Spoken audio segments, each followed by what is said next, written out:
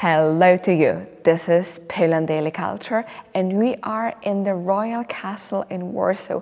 Just look at this place, how fabulous it is.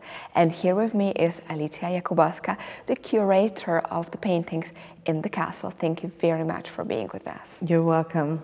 And we're talking about women, women who were connected to this place lived here or their portraits are in the castle and we can still watch them here. So who are we going to talk in this episode? Well, another Polish queen and of Jagiellon dynasty. So in Polish, Anna Jagiellonka. So um, in, we were discussing the life of uh, first female ruler of Poland, Queen Hedwig, and now Queen Anna. So, um, contrary to Hedwig, she became a queen when she was 52 years old.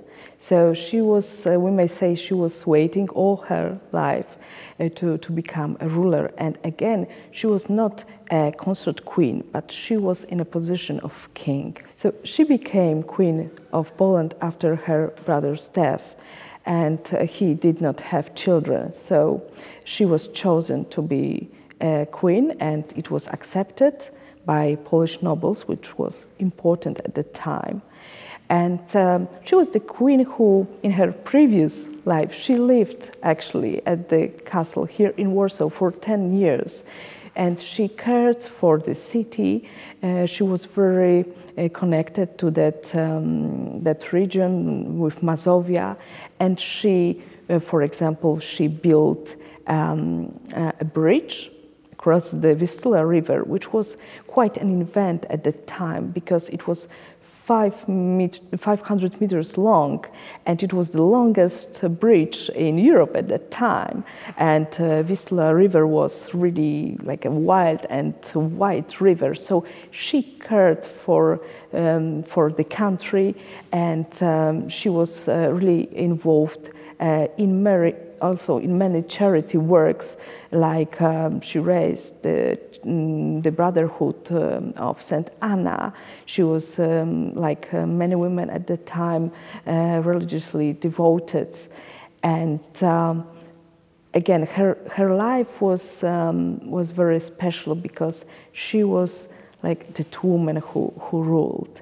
And um, there's one thing that I wanted to, to also to discuss. I mean, many, many people, unfortunately, when, um, when discussing her life, start with, um, with descri describing her as ugly. And this is deeply saddening because, um, well, this is not what we should focus on, her appearance. Well, people are different, different and uh, it's uh, really deeply personal whether we judge somebody beautiful or ugly. Uh, and this is um, not a factor that we should consider when discussing what she has achieved. Um, and uh, just to support um, that idea, well, people, people often look at her at the portrait we, we have here in the castle. And Which is not the most fortunate, I would say, for her. She is uh, 62 at that portrait. So at that time, women who had 62 years old. Of course, that she was very old, and the fact she that she was very old, and um, you can imagine uh, women were dying very young, and not many of them managed to survive to that age because they usually died at, um, at childbirth. And uh, so, being 62 and being a queen of Poland, it was really something. And the portrait that we are actually discussing uh, depicts her as an elderly woman, and she's so uh, she is really like um, old woman at the time. And secondly the way she is dressed it was like the fashion of that time. So every woman at that age would be looking like this in dark clothes, her, her hair covered uh, with a veil, uh, not much skin um, that could be really seen, actually, just, just the face and, and hands. And um, so there is a lot of misjudgment regarding her. And um, I believe we should look at her deeds and um, probably one of the most important things is that she promoted her nephew to be the next uh, king of Poland. And again, just like Hedwig mm, laid foundation for Polish and uh, po uh, Polish-Lithuanian uh, Commonwealth, so Queen Anna laid foundation for the rule of Vasa dynasty in Poland, which lasted over 800, uh, um, 80 years. So again, uh, so even though she didn't have yeah. children herself, yeah. she started a founded a dynasty which ruled yeah, Poland absolutely. later on for many so years. So she really cared for, and she wanted to achieve that political stability.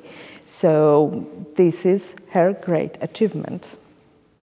Absolutely, and also um, the fact that she managed to um, kind of deal with the aristocracy those times, uh, which were very demanding and also disrupting the situation in Poland.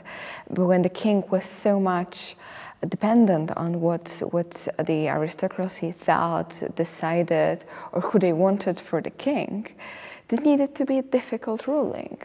Absolutely, yes, and um, also that she was a woman. It was not very common at that time.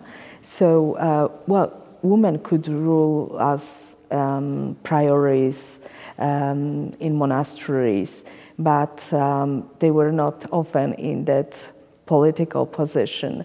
Yes, so she needs to also to consider many um, proposals when it comes to her uh, supposed marriage. So one was unfortunate because it was um, the Henry of Valois dynasty, and um, there were some some trials to, to marry her, but pol again politically, it was always that um, king's daughter would be married to, to a man who is a ruler of a different state just to, to confirm uh, some political um, situations. Situations, yes. So and that's how was, she married Stefan Batory eventually. Exactly, and just um, it enabled her to to actually stay a queen as she was because there was no agreement for her to be um, unmarried woman on the throne, and that's why she had to marry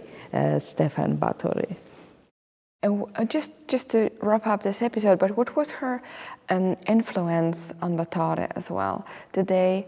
Because uh, it is known that she stayed in Warsaw and he was traveling around the country. So it was also first to, uh, I should firstly say that it was common in the past that such marriages that were political marriages or be marriages between important families that um, wife and husband they actually lived separately. They had their own lives um, the marriage was on paper and it was really common.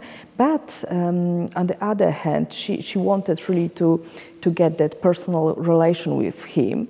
And um, she supported his um, his um, um, actings and uh, well, she she lent him money for for his for his um, military expenses. Yeah, absolutely. Yeah. So.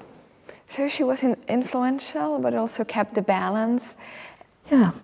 And very important woman, also the second Polish king, being a woman on the throne.